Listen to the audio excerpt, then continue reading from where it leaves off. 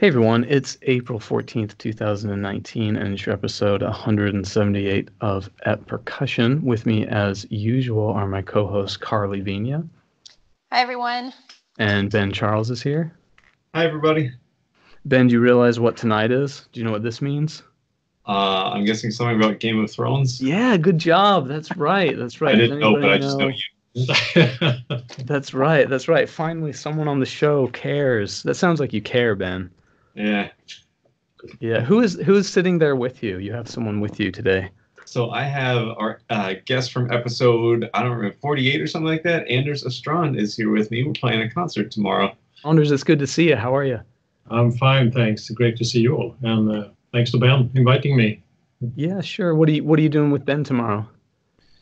We play one piece with your percussion group, and then yeah. I play with some jazz combos and so on. So I'm I'm kind of running around all over, do my thing. cool, cool. Well, it's way cool to have you. And, and also, also, sorry, yeah. Anders left out one thing he's doing. My my percussion methods class is playing "Beat It" by Michael Jackson, and I got Anders to come do the Eddie Van Halen guitar solo on it. Yes. and, and, you're going to do this on guitar. How could you forget? How could you forget? Oh, sorry. I'm like, I kind of nervous, right? on vibes or on guitar? Both. Both. Tomorrow the guitar comes out. well, cool. It's good to see you. If Ben's going to cook food for you tonight, you're in for a treat. That's happening. That's happening. Good, good. Well, y'all, today's guest is a buddy of ours, and he specializes in theatrical voice and percussion music. He's a trained percussionist, but also a classically trained baritone, and you can really hear this in his really beautiful 2015 CD release titled Theatrical Music for Solo Percussion. He's currently serving as the principal percussionist for the 20th Century Consort. This is a resident new music ensemble at the Smithsonian American Art Gallery and he's been doing that since 2012. He's played all over, including Carnegie Hall, and we see him play at, I guess, PASIC last year. He's a unique performer, and he teaches at the University of Maryland, and it's our buddy Lee Hinkle. How's it going, Lee? Hey, guys. Thanks, Thanks for, for joining us. yeah, yeah, you're very welcome. What's what's happening lately? Oh man, well, it's the middle of the school year, so things are busy on campus as always for all of us who are college teachers. And um, last night I had the final concert of the season with uh, what is now called the 21st Century Consort. We updated our name with the times. Um, so we had a concert last night, and I had the privilege of playing a, a world premiere piece by Susan Botti. Um, really unusual uh, ensemble. It was a mix of the Folger consort, which is uh, the period ensemble. Um, so they do a bunch of stuff with like viola da gambas and recorders and all of this medieval type music. Um, both of the 21st century consort and the Folger consort are music directed by Christopher Kendall, um, who's the former dean at the University of Michigan, also former director from the University of Maryland. He still comes into town uh, to work with those two ensembles. And so we sort of teamed up last night on the 21st Century Consort concert and premiered this new piece by Susan Botti um, for three female vocalists, um, a guy who played bass recorder, tenor recorder, I think, Irish flute, and also bagpipes. Uh, another player who played electric viola da gamba and also a traditional viola da gamba, and then another person who played viola da gamba. And then I had a bunch of toys and cool sounds. I got to play a balafon for the first time, which I had never done before, and uh, some frame drums and a DAF, which I'd never even actually seen a real DAF in person before, the jingly frame drum thing. Yeah, um, right. So it was super cool. I got to learn some new instruments, and uh, the performance went really well. They also played um, Black Angels by George Crumb uh, with a string quartet from National Symphony, and so it was a really cool concert. That was last night. Wow, cool. The, the website is 21stcenturyconsort.org and I was poking through just the recording archive. It's huge. There's a ton of good sounding recordings there. Are you guys are you recording with them frequently? So um, we've had a number of different recording projects. We have a grant. Um, I think it might be an NEA grant um, to record all of our concerts and archive them through our website. Um, so essentially, anything we've ever played you can go onto the website that you mentioned and you can listen to those recordings. It's an incredible resource for uh, contemporary music. We've premiered hundreds and hundreds and hundreds of pieces. Um, you know, to name just a few, I mean, the ensemble has been around since about 1978, I think. And um, we premiered Schwantner's Sparrows with Lucy Shelton, who was the, the, soprano that it was actually written for, and she was actually on the Susan Botti piece last night, which was super cool because she's an amazing performer. Um, yeah, it's, it is an incredible resource for contemporary music for sure. Well, Lee, you mentioned uh, George Crumb. I just wanted to mention, I'm trying to find it really quickly, that uh, Ian Rosenbaum posted on Facebook the other day that he and Ayano and a few other people uh, let's see here. It's Chamber Music Society is premiering a new percussion quintet by George Crumb called Chronos Kryptos. So check out Ian's Facebook for him talking about that piece. Yeah, I saw the photo he put up. The gear was just incredible. I mean, they had an entire what looked like storage unit full of equipment for the piece. I'm sure, I'm sure being Crumb, it's very easy. With very large note heads. In, in in Houston once we did this mix of you, you know Crumb has those song cycles, those sets, the madrigal sets, I think, and there's a, a you know each set has a different setup. And the setup by itself of one set is fine, but when you do one movement from this set, two movements from that set, another movement from this other set, it was just hell on earth setup wise. Everyone had to have yeah, it was yeah ridiculous, bad idea. Karli, I think you were going to ask Lee something about Stuart Saunders Smith, maybe. Yeah, well, you know, first I have um, a little background information on Stuart Saunders Smith to talk with you about because Lee is so well known for his work in theatrical percussion um, and also for his collaborations with the composer Stuart Saunders Smith, um, who may be familiar to many of you, but um, I have a little a little biographical information and some information about his pieces. So Stuart Saunders Smith was born in Portland, Maine, um, in 1948. He began both percussion and compositional studies um, at the age of six, and later went on to study uh, at the Berklee College of Music, at the Hart School, and at University of Illinois. Um, many, many, many of Stuart's pieces um, are written for percussion, partially because he is a percussionist. Um, and some of his major pieces for percussion include um, the Link series for vibraphone, uh, Tunnels, and Points North, songs one through nine, um, the authors, and like I said, many more. You can go on his website and see a, a very long list of all of his compositions. Um, when I think about characteristics of Stuart's music, one of the things that comes to mind is really complex rhythmic figures like polyrhythms.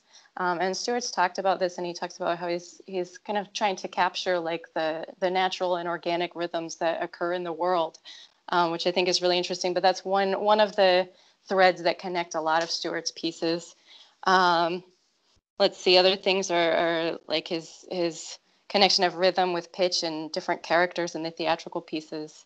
Um, personally, what I remember after my first exposure to Stuart's music, uh, which happens to have been some of Lee's graduate recitals at the University of Maryland, um, I couldn't really explain why, but everything about the piece just seemed right and it seemed how it should be. Um, and it didn't necessarily make sense logically, but it just seemed like a like such a complete artistic statement.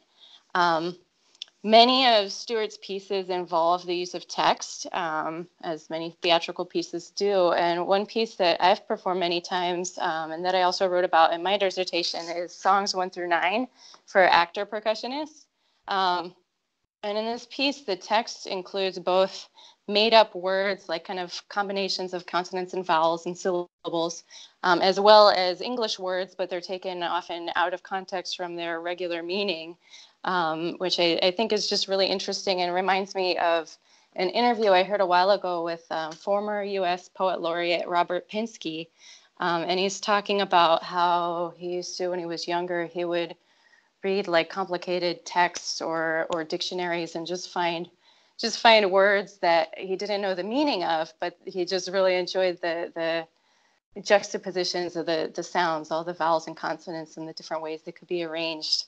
Um, and finally, one, one more quote that I found doing some research um, is from one of the major texts on Stuart's on Stuart Saunders Smith by John Welsh. It's called The Music of Stuart Saunders Smith. And Welsh says Smith does not claim to be a poet, but rather one who composes music with the sound of words, um, which I think really kind of nicely ties up ties up this this element of completeness that that we hear in his music. So um, I'm really excited to hear from Lee about some of his work um, collaborating with Stuart Smith. So Lee, could you tell us what that collaboration was like?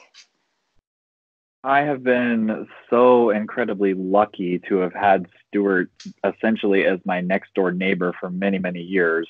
Um, he used to serve on the faculty at the University of Maryland, Baltimore County, which is just about a 30 minute drive from us here at the University of Maryland College Park. Um, and during his tenure, when he was a professor there, before he retired, I got to collaborate with, uh, with him on tons of recording projects. Um, he was a member of my dissertation committee um, when I decided to do my dissertation on theatrical music for solo percussion. Uh, and we've worked together on countless projects. Um, probably the most special to me is The Authors.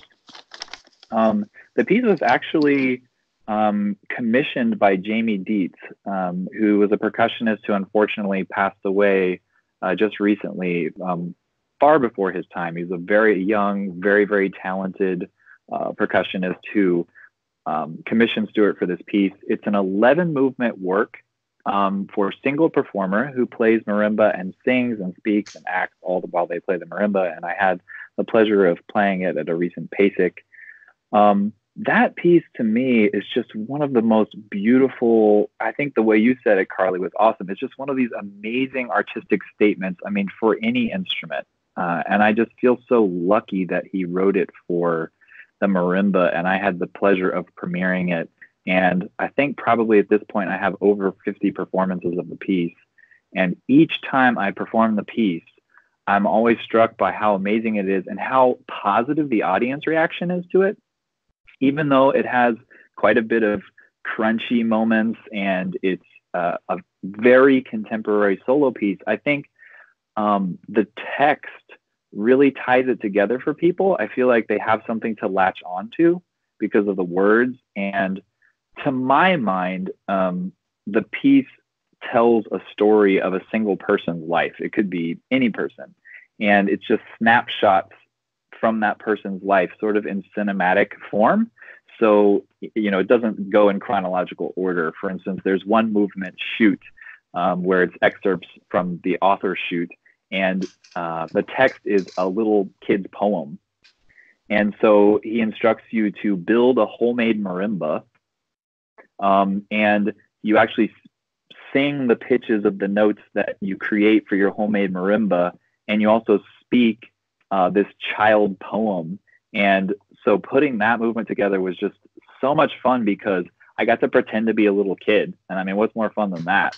Um, and it was also there was a, a lot of challenges in finding pitches for the little homemade marimba that I make that I could actually sing, uh, which was a tricky part too. But um, that collaboration in particular has been very special. Um, I think you know the the newest thing uh, collaboration that we have going on right now. I actually just spoke with Stuart um, right before this uh, interview um, because he's writing me a new evening length piece for um, theatrical percussionist and vibraphone. Um, so I'm really excited about that. It's going to include a lot of singing and speaking, just like the authors did. But I can't wait to see it. I'm hoping to premiere it next season, possibly in the fall or next spring. Um, but we're working on having it copied at this time. So those are the latest. Things. And you said an evening length? Yeah, I think he's planning for about an hour long piece. Oh, my light's off. Yeah. Wow, jeez. Yeah, and it's always is, is Stuart's music always the soloist is the one speaking? Is there ever? I feel like so many other composers they just do narration separately or voice separately, and two people, you know, two or more people. Yeah, that's a good point. Um, and in fact, in the authors, the eleventh movement ends with um, a narrator who is specified by Stuart to be of the opposite sex of the performer, and they're supposed to start speaking randomly from the audience sort of as a surprise. Um, so, for instance, what I did at PASIC, um, Sylvia Smith was the narrator for that section of the piece, and uh, it's supposed to be a surprise, but uh, also the text for the the eleventh movement um, is about a relationship and love and all of those things. So I think he wanted to sort of have that aspect to it, like that partnership with the person who said. And it's it's very shocking too because you've been hearing 26 minutes of music, and then suddenly in like the 27th minute of the piece, um, this voice comes out of nowhere, and it's a big surprise, and it's a very cool effect. Um, but I think um, there's a lot of difficulty that comes with trying to speak while you're playing. Uh, it takes an awful lot of practice, and I, would be happy to talk about that process of how I approach it, um, if that's something that's interesting to you guys. But I think you're right, Casey, that a lot of times it is two separate performers because it's hard to get a text across and really portray the meaning and get all the nuances and everything if you're also trying to play at the same time. There's just a lot going on. Well, and there's something really cool when I hear people who aren't like you're a classically trained baritone. I mean, you you're able to perform this just totally differently than your average percussionist. You know, the the the piece I do by Diana McIntosh called All Too Consuming, you do have to speak and play and and you you're supposed to sing. And man, the singing part I just I'm terrible like I can like I can kind of do it, but I, I remember my recital, the sound guy was like, um, "Yeah, you just need to sing like three times as loud." I'm technically singing, but I'm like I'm messing. I mean, I'm making his job more difficult because I I can't really sing like the composer can. Diana McIntosh is a trained singer, so it's just it's it's but it's really cool. You know, like I really love. I've listened to every preview on your CD that I can find, but the uh, it's so different than when I see you know just another percussionist do yeah do something with voice. You know, Ben, I think you were going to say something. Yeah, all this brings to mind a piece that I recently performed, and I, I think I probably mentioned it a couple episodes ago, called "A Robe of Orange Flame" by Christopher Deane, uh, and it's a 30-minute solo for Thundersheet and spoken voice. Um, and so has many of the issues of speaking and talking that we're playing about that uh, Lee has spoken to, no pun intended. But um, I also wanted to ask Lee, you mentioned like an evening length piece, and this piece is 30 minutes long, so it's basically half of a recital.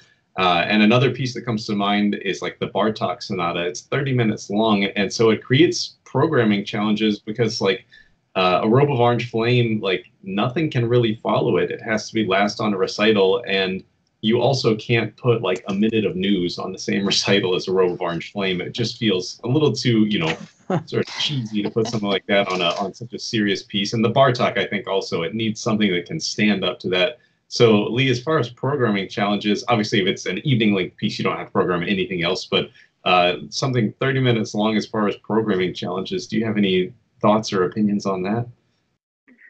Yeah, it certainly is a consideration, and the authors in particular is such a taxing piece um, physically and like emotionally it's just an epic piece to perform. I get done with the thing and i'm like soaked in sweat and i'm vocally tired and you know i'm just like mentally exhausted. So yeah finding something to pair with that is super can be super difficult. Um, so what is the solution? I'm not exactly sure. I mean sometimes i'll program something some things to completely contrast. I like to do um, performances like that where I'll have something maybe very drummy and then a very introspective type thing like the authors and then something maybe tuneful to sort of give the audience's ears a break um, and help them like work through the recital uh, and keep it interesting that way. I've also at times just wanted to do an all theatrical concert, and so I've spent, you know, um, a lot of time thinking about that programming. I did do my dissertation on theatrical music for solo percussion, so I did for our dissertation for the dissertation that I was responsible for. It was a series of three hour-long recitals of music of that type. Um, so I was doing everything from Stuart Saunders Smith to like the Jennifer Stasack Six Elegies Dancing, um, which is a wonderful piece as an introduction uh, to the genre. It's for solo marimba that has composed movements written into the score. So it doesn't have any speaking or singing, but it has a, like certain ways that you're supposed to move when you play the marimba. It's, it's like a, a nice teaser to get into the genre. Uh, and the marimba part is not it's super difficult. Well, certainly not compared to a lot of the rep that's out there now. Things like Casey Wright um, or Bias or you know those guys. Um, but uh, it's a great introduction. Uh, and so I was doing things like Globokar. Um, I was doing Stuart Saunders Smith, and I was also doing a lot of commissioning as part of the dissertation too. Um, so I managed to get some nice new pieces for the repertoire as well. Yeah, cool. Yeah, I was talking to actually Christopher Deane uh, about a week ago. I saw him play, of all things, the Bartok Sonata. And on this concert, they did the Bartok Sonata as well as two piano, two percussion version of Rite of Spring. So the the pianist played the Rite of Spring, you know, two piano version, and then the percussionist basically picked and chose out of you know as much of the percussion part as they could. So that was pretty cool to hear. And Karli and I heard Svet do the Bartok paired with uh, Symphonic Dances from West Side Story. So it was the same mm-hmm. thing. There's a two piano version they added percussion to. And uh, I talked to Mr. Deane and I said it'd be cool to do the Bartok as a first half of the concert, then a Robe of Orange Flame as the second half, which I think from such a large ensemble to such a small piece would be a pretty cool contrast. But cool. interesting thoughts for sure. Did you tell him it'd be pretty cool for him to come on the podcast sometime? Uh, I don't think I got to that. That would have been a good. if you're listening. that would have been a good, a good chance to do that. Anders, I want to hear your voice. What are you thinking? I yeah, so Lee, I'm thinking about. It's kind of interesting to hear because I also think from many many thoughts about this, but it's like uh, one point is what I see with um, all using voice and so on. What's very popular in Europe is like uh, Maurice Kagel. I don't know if you've been in contact with his music or not, but it's like that's a little, I would say, different approach, right? Because sometimes you feel it's like about more comedian part of it as well. Mm-hmm it's not so much voice including in that from what I remember, but it's more like a theatrical uh, point of view. Have you been in that game with his music? I um, say the, the composer's name again. I missed it. Maurice Kagel. No, I'm not familiar. Mm-hmm. Ka- Kagel. Oh yes, yeah. yes, yes, yes. Yeah, I, am familiar. Sorry, I did not work. I I did not work on his music as part of my project that I did. I know that Karli has done a lot of Carly work on podcast, uh, but um, I, I am very familiar with the European uh, canon of this music. Um, my wife actually has a, a, university teaching position in France, so I go back and forth a lot um, for things over there. And um, one of the things that was really fascinating for me when I was doing my project was the discovery that Stuart and a few others in the United States, Stuart Smith, and the there was a school of composers in Europe, Aperghis, Globokar, um, among others, um, that were doing a lot of this theatrical percussion stuff essentially for the first time in the 1970s, and they had no idea that they were doing this. They they were completely separately pursuing these. They didn't check it out like on YouTube or anything. I guess not. Uh, and that realization was very cool for me. And I, I, I, still am not sure why exactly that happened. I think some of it had to do with the time period, the number of people who were really capable players. Um, but it, it, was just happening at the same time in Europe and America. And I don't, and according to Stuart, he had no idea that the European composers were doing this at the same time. Um, that was an interesting thing I discovered. Yeah, we had we had in Sweden, we had in Stockholm, we had a Monday group. There was a lot of composers who tried to get into new ideas, like new paths. So a lot of voice stuff came up, of course, and theatrical, and you play on the top of the church and, and uh, every Sunday, and you do like you know brass quintets, but you do it totally in, in another way, and a lot of happenings. Just to, yeah, it's kind of same style like uh, Cage start to kind of reach out and see what can you do different and all this stuff. So yeah. So, so my question to you is like also, what took you into this? Mm. Yeah. Um, well, I've been so lucky to have a series of really amazing teachers um, who have encouraged me and my creativity. Um, when I first started uh, in music uh, as a kid, I started on violin, piano, and voice. Um, and I did that for most of my young life. And then when I got to middle school, I started playing some percussion and sort of dropped the violin and the piano as I became more involved with percussion. But I've always kept singing as well.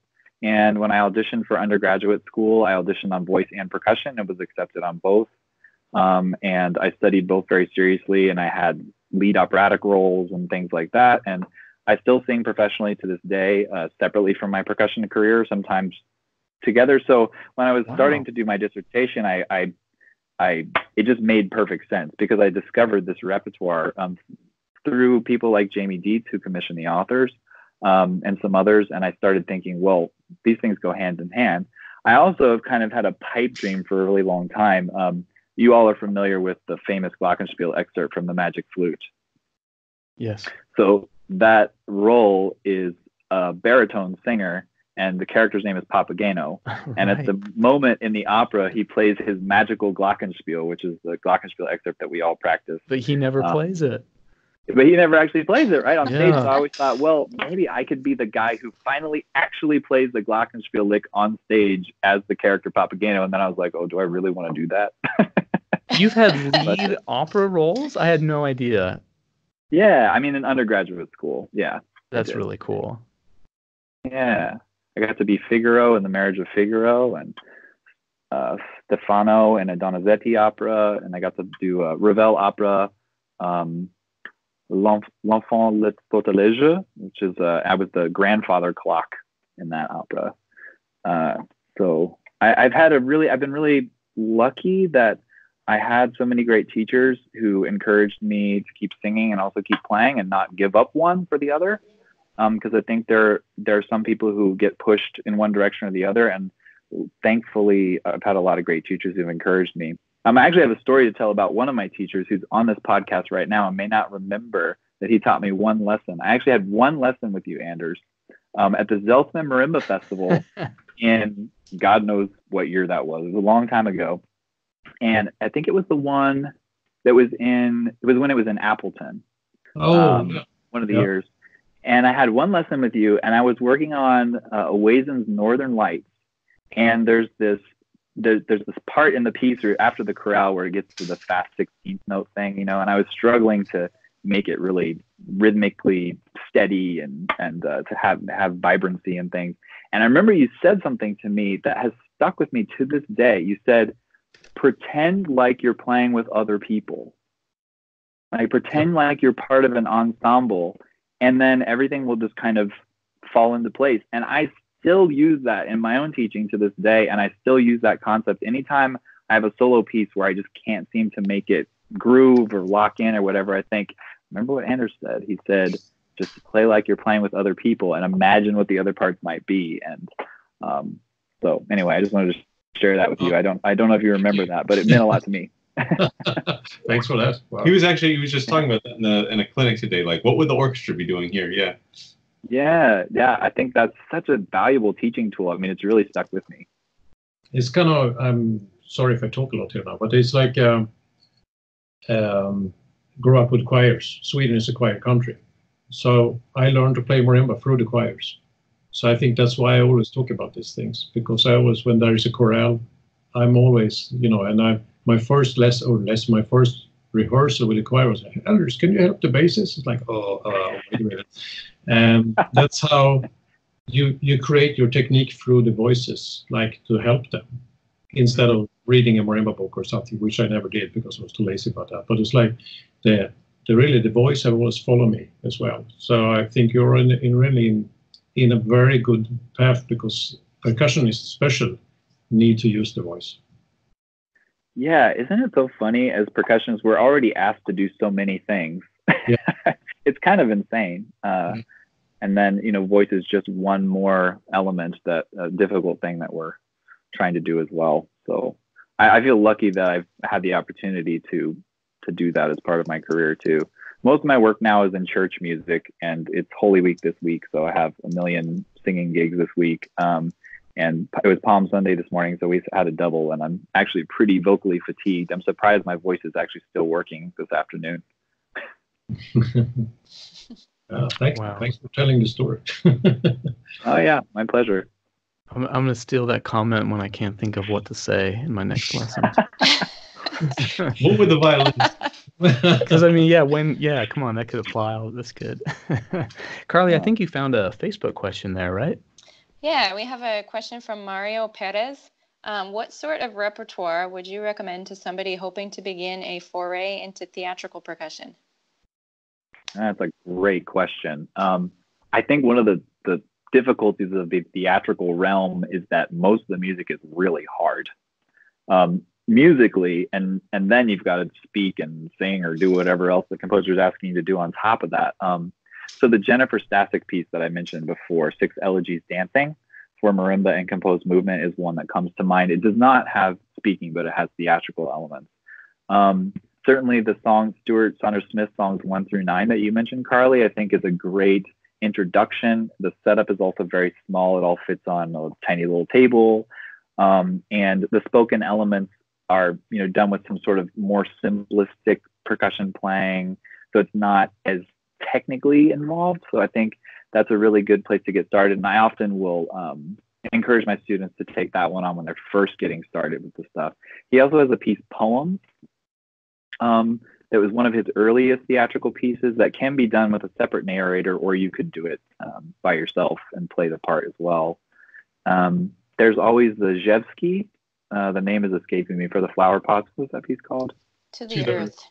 To the earth, yeah. And that one, and where the the speak spoken rhythm, um, I can't remember. Is I've never actually done it. Is it actually set with the rhythm that you play, or is it separate from the rhythm that you play?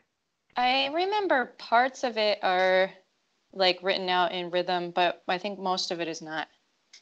Uh, okay. it's just kind so of written I, above yeah. the music.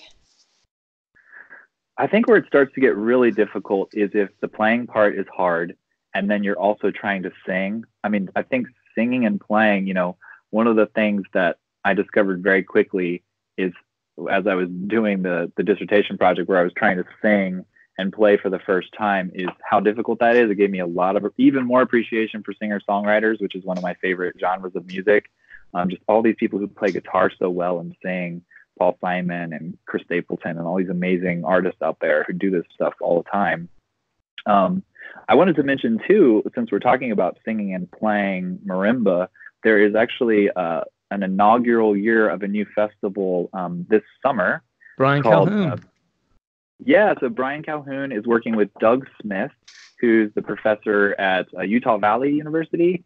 Um, and he's got a festival that he's running from June 20th to 22nd, and I'm going to be out there for that. I'll play the authors, um, and they're going to have a whole series of training things for people. They're going to have um, voice classes with a voice faculty member, um, so you can actually get some singing specific training. Going to have a bunch of student performances and faculty performances.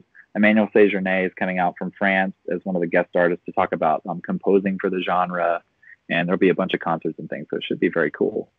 One piece that, that Lee mentioned that comes up a lot with this, I think, and it really answers that question well, is the Rzewski to the Earth, which, if anyone's not familiar, it's spelled R Z E W S K I. It looks like Rzuski, but it's pronounced Rzewski.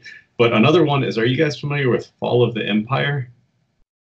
Think only because you mentioned it one, a long time ago. It's like it's like five or seven movements. I want to say five movements uh, and I think each movement is for a different thing. Like I think one is for uh, like bean pod shaker, one is for vibraphone. There's one for like four metal sounds. Um, but it's it's much in the same vein as To the Earth, but To the Earth gets played so much, and I think that one is actually more fun to listen to. Um, so that's another one that people could check out. And it's you could definitely do just one movement. You wouldn't necessarily have to do the whole piece. I think there's one movement for chimes also but that's another one. And the nice thing about Rzewski's music is that uh, it is legally all available online for free. So and like to the earth, you know, it's for four or five, it's four flower pots. So it's not exactly a big financial investment to get this stuff and try it out. Is it okay to use like bongos if you can't find flower pots? Yeah, no, I think that's in the score. That's fine. That's good. Yeah. You know, speaking of this, I think this is a good question because I've had several students say, you know, I want to dive into a piece like this, and I, or I want to do a really hard either theatrical piece, gestural piece, pantomime piece like aphasia or silence must be, or like a hard tape piece, and because of this question, I'm I'm often very hesitant. You know, I feel like, oh, in, in my head, these are very hard, hard pieces. You know, there's like songs one through nine, those rhythms are wild and there's so much to do. But Laurel and I, with with uh, two of our students, we just said, yeah, what the heck, let's do it. And man, we've got a senior playing aphasia. It's fantastic. And I thought, man, this is such a gap. Like I, in my head, that is such a hard piece. And part of that's probably because I've never done it. So I mean, it looks so intimidating. And I started a little slow with him learning it. You know, a few a few weeks went by and it was like kind of inching along, and then just one week he came back and he had the whole thing done, memorized. and it's really really fantastic. I mean, it's just really. I, it just really, really surprised me. I mean, he's a good player and everything, but I didn't think that he would seal that gap so great. And likewise, the student who did songs one through nine is named Jacob Reeves. He's a junior here, and Christian Davis is the senior doing aphasia. And we've just been amazed and they both have done it in studio class and everyone's just blown away and it's just really really encouraging. You know maybe they can i don't know they can surprise us um, a lot. But I, I wanted to ask i guess kind of everyone how because you know this music students often young musicians and a lot of professionals too like they they often say oh this is so weird. Why do you guys play all this weird stuff all the time? And i kind of want to know what, what do you think is the value in doing you know these types of pieces for example and, and i think i'll start it with a question that i found on youtube or not a, question a, a, comment that i found on youtube and i don't want to i don't want to tell you who the, the person is. It's a young kid and it's in a response to ligeti's symphonic poem for 100 metronomes and yeah please don't find this and like you know comment against the kid or anything it's a perfectly like well written and fair comment but the comment says i really don't understand why people make this kind of stuff. Interesting sort of practical or useful no not in any redeemable way this kind of piece is why my parents never wanted to go to my concerts in college Yes, classical musicians and theory fanatics find this fascinating, but what does it actually teach us? What musical purpose does it serve or provide? It is just a waste of time. this is why people don't take us, or at least me, seriously. Yes, we get praise from our peers, but what does that mean if the praise we get is from someone who has a bias toward the study of rhythm in the first place? if I'm missing the point, then someone please let me in on it. So again, like I think it's a well written and, and totally fair question. How how would you I know Karli, you do some out there stuff. You do Mauricio Kagel. What do you what do you say to that? you know, there's so many questions that come to mind in response to this, like like the question, what is the value of this? Why do we do this? And um, you know, one thing the person that wrote that comment is saying kind of what's the point if only other people that do what we do appreciate it? Like does it matter if you move and affect one person or a hundred people or a thousand people? Like to me the the goal is still to move and affect anyone like just just yeah. to have that kind of that kind of connection. Um, but you know i've actually i've actually kind of had the opposite experience it sounds like from that commenter on reception of pieces for theatrical percussion. Um, because I've had I've had family members that aren't musicians and aren't artistic at all, and you know people sometimes my students' parents and family like non non artsy people, non musical people um, that come and and there's something about theatrical percussion that reaches them, and I think part of it is that we're using so many human elements like our voice or our our movement, our actions. Um, and that can reach a non-musician sometimes in a, a more direct way than just the the notes we're playing or the the pitches and rhythms and everything. Mm. Um, I can actually so I can actually vouch for like after one of Karli's recital her family recitals her family camp. I think it's when she played Dressur, and Carly was like, I thought they wouldn't really get it or they would hate it, and they were like, Oh my god, that was amazing. Mm-hmm. yeah. Yeah, I'm thinking, what's everybody going to think? This guy's going to rip off his shirt and beat his chest with coconuts, and, and you know, my relatively conservative family members were saying like, "Wow, this is great." Or or when I did yeah. Corporel, you know, I was thinking they're going to be scared and concerned about me, but they're like, "Wow, that was amazing." And um, so I don't know. I, I, suppose it depends on your audience and the people um, that are that are listening to you. But I don't think I don't think maybe there's a limited interest in this type of music, um, partially because it's not really in like the main the main you know core of, of what we consume as as listeners but um, i don't think that makes it any less valuable or less important. Well i forget who said it and i feel like it was on the show. It may have been one of us or even myself but i feel like we often underestimate the audiences. You know we feel like they they need candy when they they really might not you know? And i and i've had this very similar experiences with family members and with people who are very new to 20th 21st century music you know? Anders? Oh my head is I mean, I mean, this is very connected with what i do a lot. I mean with improvisation and yeah. So i've been also working a lot with actors in different ways and dancers, whatever. But I think it's also about what uh, you need to take a decision sometimes to extend yourself or take a, take like a, let's say get outside your own box.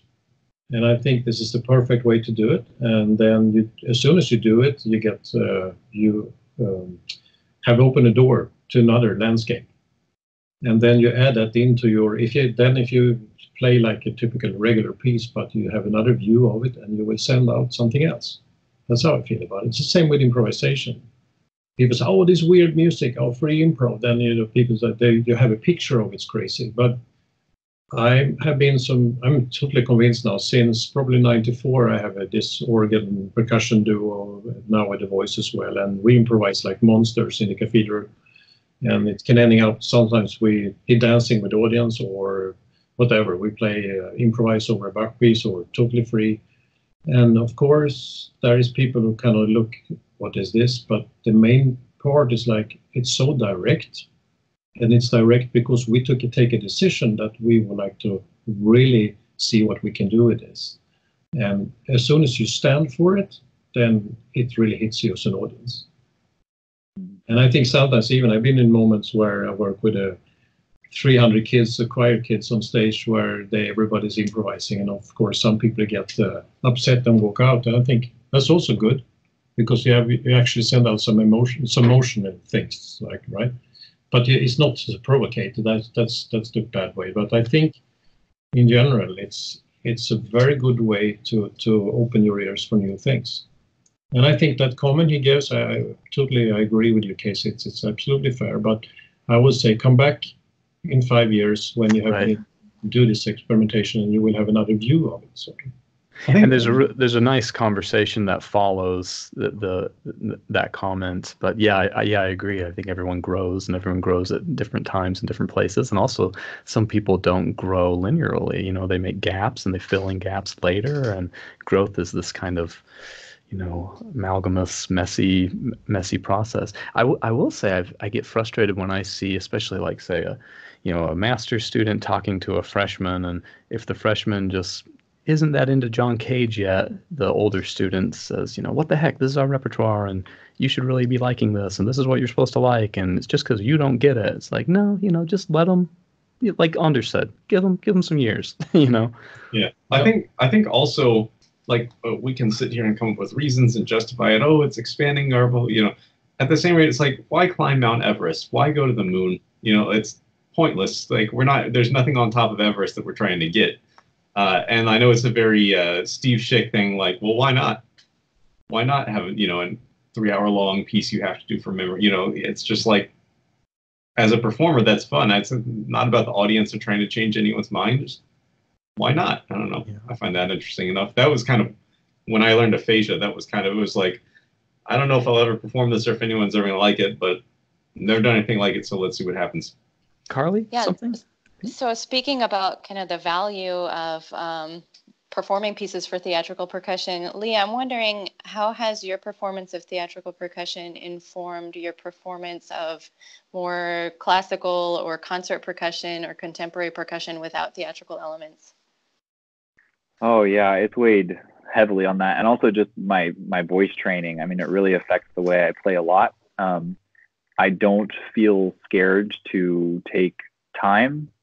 I guess might be one way to put it. Um, I don't feel scared to play something different on different performances, like just now there. Um, and uh, I think that's something that, as classically trained percussionists, because we do spend a lot of time practicing the excerpts, which do have to be the same every time, and things like that. If you're prepping for auditions, that we forget that live performances is about in the moment, and it's about you know allowing yourself the freedom to um, have some improvisatory aspects, even if you're working within the framework of something that's through composed.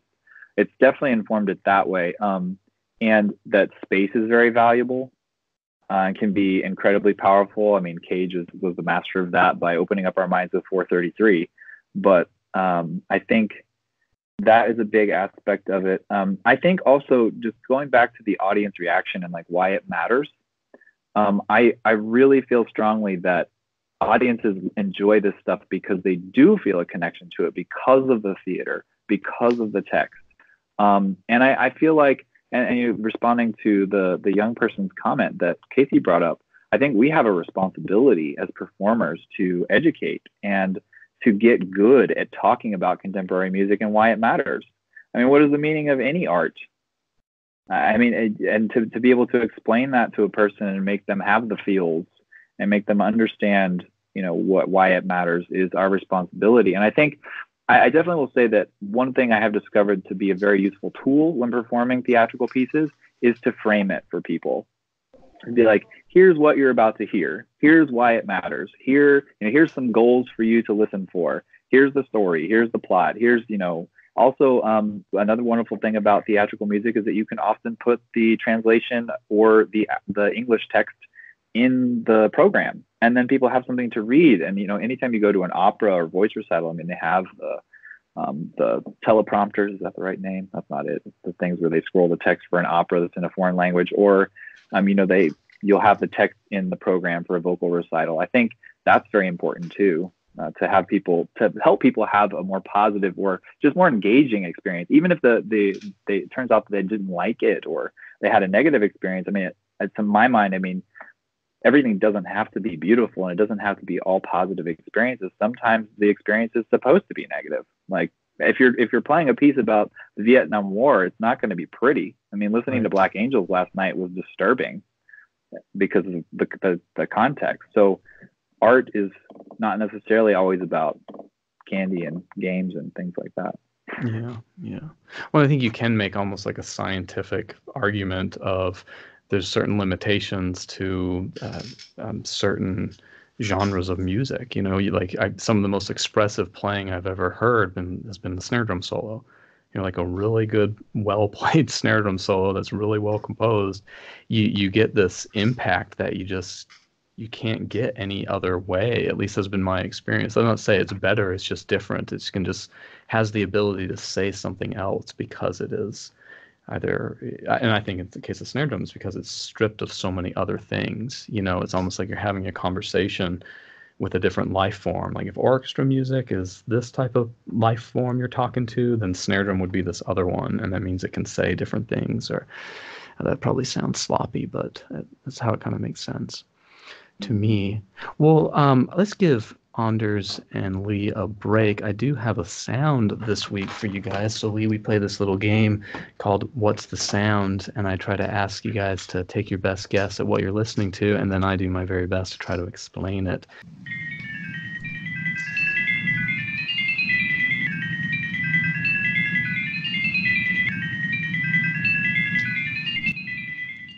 Pretty obscure. It's a, usually these are like you either know it or you don't. so th- this is a this is a process called sonification, and sonification simply means taking any type of information or data and turning it into sound. So, like a Geiger meter, right, that detects radiation and it clicks. It's like there's an audio cue that lets you know, hey, you're getting close to really high radiation and you should get away. So, it's just a, a audio cue for that. And this happens to be that of radio waves from space. Astrophysicist Wanda Diaz she is a blind astrophysicist and she has been doing a study on the X Hydra star system. And because she's lost her sight, she has found a way with NASA and the Smithsonian Center to and the Harvard Smithsonian Center to create a software called xSonify. So the first example I played is something from xSonify, and it simply interprets any data you put into it and makes sound out of it. And because she lost her sight, she w- was unable to continue her research and was unable to continue with her team and until they worked together on this software. And now she can. So, uh, yeah, research project by scientist Wanda Diaz. She's investigating the use of sonification for data analysis. Diaz is blind, but believes this can help scientists who can see as well. She suggests that it's easier to make sense out of large samples of data points. In the case she's looking at 65,000 data points, and it can be very hard to visually pick out on a screen some of the significant trends or curves or something beyond my understanding, but it's something that can more easily be heard. she's making these sonifications using open source software created by NASA called xSonify.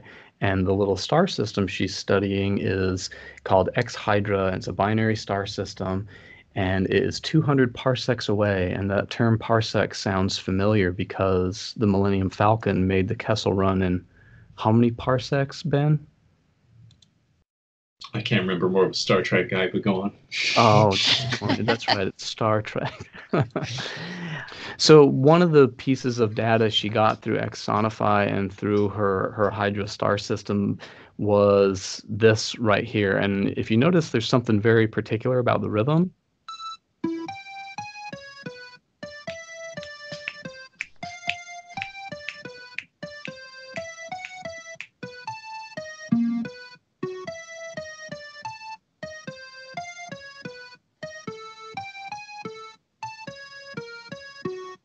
So for a long time, it stays in a very common clave rhythm.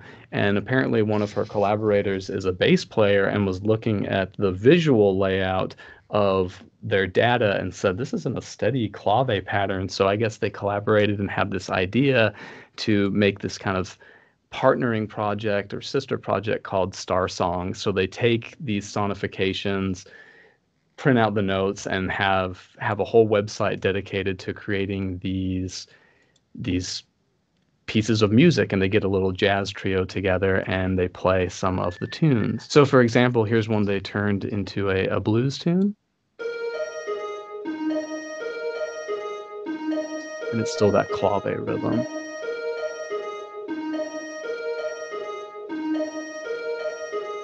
So that's the radio signal from the star, and then they turned into this, or the star system.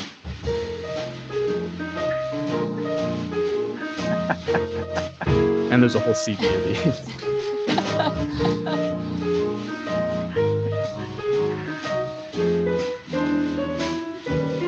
Here's their jazz waltz.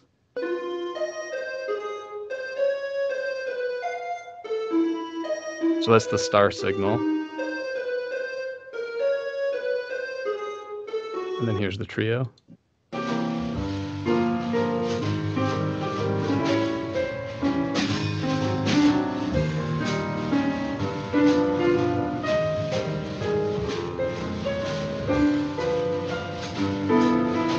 So, if you're interested in reading about this, there's a lot more you can find at Harvard Smithsonian Center for Astrophysics. So, uh, yeah, a big part of her, this kind of three three parts to what Wanda Diaz is doing. She's creating the Star Song page, which is a great way to, of course, encourage public interest and merge, you know, the science and music, as a lot of a lot of people do like to do. But then also, she's of course able to continue her research now, and on the scientific front, this research is happening, and also she's building a case for like, hey, we can get more out of sound than we can with sight. So it's helping sighted scientists as well as uh, her, herself and other blind scientists. And then the third component of what she's doing is she's making a case for the, the benefit to people with disabilities to be able to have tools like this to do what they want to do and contribute to science, contribute to research. And of course, that helps them as individuals, but it also helps the scientific community at large. And she has a really nice little TED talk. You can find it, it's fairly well viewed and it's great. It's uh, 12 minutes long. It's really, really nice. She explains a bit of the, uh, the, the science behind this, but then also what she's doing for uh, people with disabilities and how this benefited her. Quote from her TED talk, just as straight from it, you can go watch it. She says, When I lost my sight, I noticed that I didn't have access to the same amount and quality of information as every astronomer does.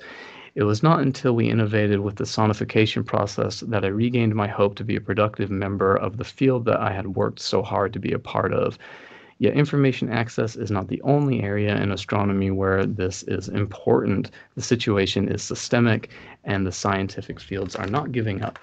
The body is something changeable. Anyone can develop a disability at any point. Let's think about, for example, scientists who are already at the top of their careers. What happens to them if they develop a disability?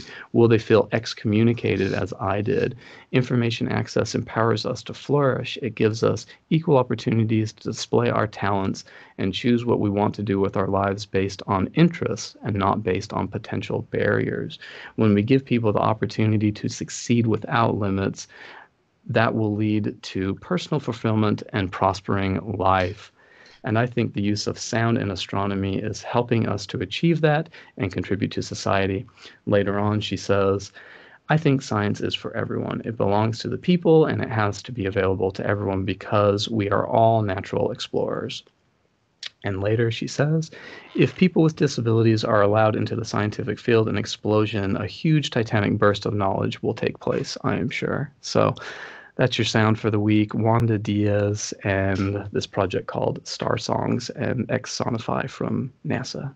So let's move back to Lee a little bit. Lee, I, you were going to offer to tell us a little something about how you deal with like the difficult rhythms in Stuart Saunders Smith and how you practice this percussion part and the voice part. Can you tell us a little something? Certainly. I think a lot of it depends on the piece and what you're tasked with doing. Um, there are some uh, sections of Stuart's music in particular where the text is timed with what you're playing. Um, so in those instances, for instance, if a certain word or chord or a single note is supposed to line up with a certain word, I would just do sort of a standard procedure where I would practice the text separate from the music. So I practice the music alone and then practice the text. But then there are some instances in his music where the rhythm of the text determines the rhythm of what you play. So you sort of have to figure out how you're going to speak it first and come up with a way to speak it that same way over and over and over again so that you can then attach the notes to it. So then you could practice, say, the notes that are there in a steady rhythm, just one after the other, and then practice speaking it over and over and over. And as you start to get a sense of what the rhythm might be, the speech rhythm, then you can start trying to play the notes to it. Um, and those maybe are some of the most difficult things to do. Also, just singing in general, because um, singing is hard uh, and it requires a lot of uh, energy and um, you know just to get your sort of your face up out of the instrument um, or instruments, depending on what you're playing, um, and project outwards uh, and keep your playing at a volume that um, allows the voice to be the most important thing. Because usually in a theatrical piece, the voice is the most important thing. If you can't understand the words that are being spoken or sung, then you're kind of missing the whole point of what's happening. So, those are some plans of attack that I've used to, to deal with some of that music. I think Karli hit the nail right on the head when she was talking about how difficult some of Stuart's rhythms are because he deals a lot with um, pretty complex polyrhythms and things. So, you know, I will often um, just break those down, figure out what the component polyrhythm was, and then start to piece those together. And, you know, over many, many years of doing that, um, you start to develop sort of this new rhythmic language where you just see six against five and you know exactly what it sounds like, just like you know any rudiments what it sounds like.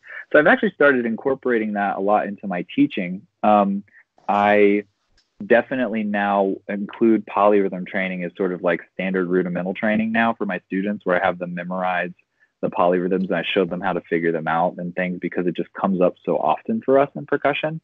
There's this great piece by Ben Johnston called Knocking Piece, which is mm. played mm. on the inside of a piano with two percussionists. And Sylvie Smith and I recorded that piece several years ago, and the tempo changes every bar. And so one person starts in a steady rhythm, and then the next person comes in the next measure with a polyrhythm against that. And then the polyrhythm that the new person introduced becomes the tempo of the next bar, and then there's a polyrhythm against that immediately. So you have to be able to change gears like this. Um, so you really have to know them cold. And um, I'm sorry, my computer is about to die, so I'm going to get my plug here ready to go. But those are just some of the, the plans of attack that I have used to deal with some of those things in Stuart's music in particular.